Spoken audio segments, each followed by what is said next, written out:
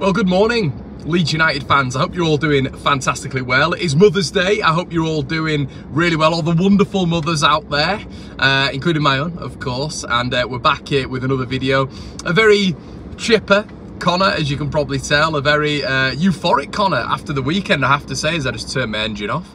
Um, Leeds United second in the pile after a really, really good Saturday for the Whites. Leicester being held to a draw Southampton obviously getting that win over Sunderland, but through a few trials and tribulations for that one. And obviously the big talking point of the weekend, Ipswich losing out to Cardiff City. The hilarity of their social media guy already having their goals produced when it comes to graphics and the full-time image already produced when it comes to graphics made me laugh quite a lot to be honest with you. The expectation that Ipswich had to win that game was was confidence of course, maybe a touch of arrogance but, but to be fair, working in social media myself you do always have to be prepared for the best and the worst of football. So listen, Leeds getting the win on Friday night was more sort of important than probably we think there. You know, uh, uh, Sheffield Wednesday side who have been very good. Four wins on the bounce at Hillsborough, five wins in six.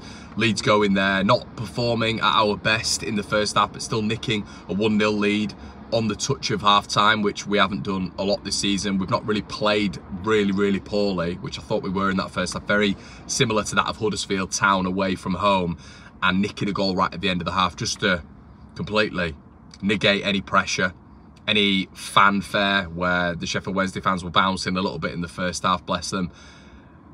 But Leeds were able to do that. And Leeds were able to nullify any sort of hope and expectation they had going into that, that first half with, with, with any sort of positivity. Danny Röhl did a fantastic job, I thought, in that first half against Leeds United. I thought his management was very good. I was able to bring Sheffield Wednesday into a compact mid-block but deal with Leeds in the way he did with three very, very ageing midfielders. Three midfielders, Marvin Johnson, who is a left wing back, Palmer in there, who's about 38 years of age and is notoriously a right back, and obviously Barry Bannan being the almost sweeper of those three. But the important thing there was that they're all of that age group uh, are experienced vets, but at the same time, they shouldn't have really, in terms of calibre and quality-wise, been able to deal with Leeds in that middle at all. And when I'm talking about the middle, I'm talking Rutter, I'm talking Gruev, I'm talking Kamara, but they did, and that's credit to Danny Röhl. That mid to low block really, really worked for them. But it wasn't really a low block in, it, in, in, in its fullest sense because there were high pressing Leeds. But the beautiful thing about that is we had an intelligent brain at the back who thought to himself, well, actually, if they're pressing high, what I'm going to do is get the ball and with my pinpoint accuracy, with my sniper accuracy, I'm going to play the ball over the top because they're playing a really high line with sluggish slash slow defenders. So thank you to Ethan Ampadu for using that football brain you have and that is why you are my captain going forward with all respect to Liam Cooper after he moves on from the club. But Ethan Ampadu was imperious, he was superb during that game. He was almost mesmeric in terms of not only a defensive performance, but a midfield performance as well. And I want to shout out Ethan because I've given him flowers, but I want to keep giving him those flowers like I'm giving my mum flowers on Mother's Day. Sorry, mum, I've let the cat out of the bag already. But yeah, top performers from Leeds. And we went into the weekend a little bit like, well, we'll see what happens. Let's see what happens. And the job that was done by Cardiff City was that of Football League uh, EFL folklore. 1-0 down Kieffer Moore scoring again for Ipswich. I think that's his seventh goal since he's joined in January. Bearing in mind, on the One Leeds fan channel, he was one of our first names, so I want a bit of credit for that. Got battered for suggesting him. he's too old. He wouldn't do it if he came to Leeds. But yeah, I think he scored his seventh goal.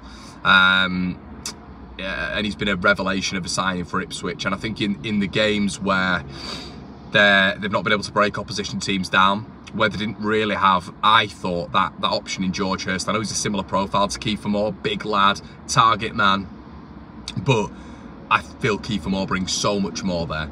So many more of the intangibles, things that we can't really measure, but so many things that are able to get Ipswich up the pitch. And with the small diminutive players, Sarmiento, obviously Omari Hutchinson, who got player of the month, they're able to get in and around Kieffer Moore and, and win those second balls. And that's extremely similar, extremely similar to what Leeds were doing on Friday night with Patrick Bamford. You know, we're getting in and around him in that second half, winning the second balls. But Kieffer Moore has given Ipswich that different dimension because they controlled games.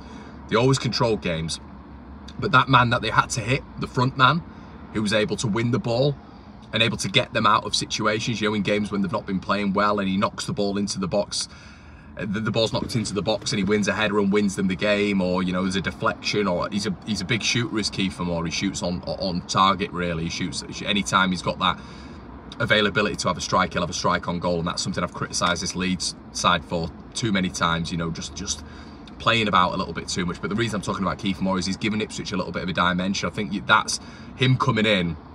Sarmiento coming in, obviously, and Omari Hutchinson's form been, you know, getting better and better he's given him a little bit of a different dimension and I feel like we've almost had that similar thing. You know, we've had Gruev in there, we've had Kamara, we've had a different Junior Firpo who's come back into the fold. And Ampadu's gone at the back and I think maybe we've we've seen a little bit of a difference in Leeds United's form, but I'm not 100% sure that's the reason, you know, I, I don't think Pascal being out would have caused any difference there. I think him coming in would have been, I think we'd have still had the same run of form, to be honest with you. Um, but it's been so interesting to see that dynamic of Joël Piroe coming out and Pat Bamford coming in. So, listen, overall, you've seen a different Ipswich, but you've seen a different Leeds United in 2024 as well. But I think you can even get a better Leeds United. I mean, what I was looking at on FB Ref earlier on, which is like a bit of an analytics site, I also backed this up by looking at SofaScore, link in the description via One Leeds, everybody, you can check that one out was how many progressive carries that Ethan Ampadu's having per game. And tactically, it's so interesting because I mentioned this after doing the watch at the weekend uh, on Friday, and I thought this is what they're doing a little bit. You're actually getting Gruev substituting and covering Ethan Ampadu, who's moving into the midfield. Now, as I mentioned the other day, I don't think that's a tactical move. I think Ethan Ampadu's taken that upon himself because he's not seen any progressive carries from the likes of Gruev and Kamara. Kamara a little bit more so. I would say he's probably progressive carries are, are half decent, but it's that shot at the end of it which, you know, makes that, that complete offensive action really in the progressive carry, then the shot. Um, but Ethan Ampadu has just been so good in terms of getting into that midfield spot and causing some problems for the opposition. He's, he's proven a bit of a, an attacking outlet for Leeds from centre back, which I just think is absolutely out of this world. I want to shout Pat Bamford again as well for his performance the other night. I wanted Joseph to start. Um, but I wasn't bothered if Pat started whatsoever. I just think Joseph would have been a little crisper, a little bit more zip, a little bit sharp, and I stick by that, stand by that 100%. Um, you get in my opinion, um, a lot of sort of like dough ball responses of, oh, well, he's not played any minutes. Well, yeah, there was a point in time where Michael Owen played no minutes, then he came onto the scene looking crisp, sharp, and absolutely destroyed the Premier League. And I'm not saying that is going to be Mateo Joseph, but you know, that, that means absolutely nothing. I don't care if he's not had any minutes. He had no minutes before the Chelsea game, then he came in and did what he did. So that argument is completely redundant for me. Um, and I think he'd have done a job the other night with a very slow Sheffield Wednesday, back line who were playing high. And Joseph always gets between the centre back and the left back as well, and always plays on the shoulder. But also, so does Pat Bamford, who was excellent the other night, I have to say.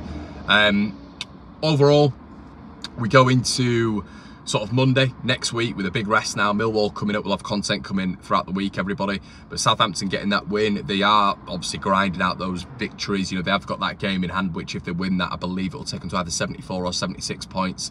It is getting tight now. Leicester are completely bottling it at the minute. They are completely bottling it at the minute. And I'm not saying that they won't win the league. I'm not saying that they won't get that sort of resurgence back again. But Leicester are bottling it right now.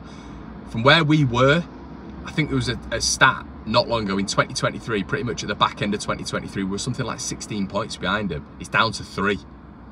That is bottling it so far.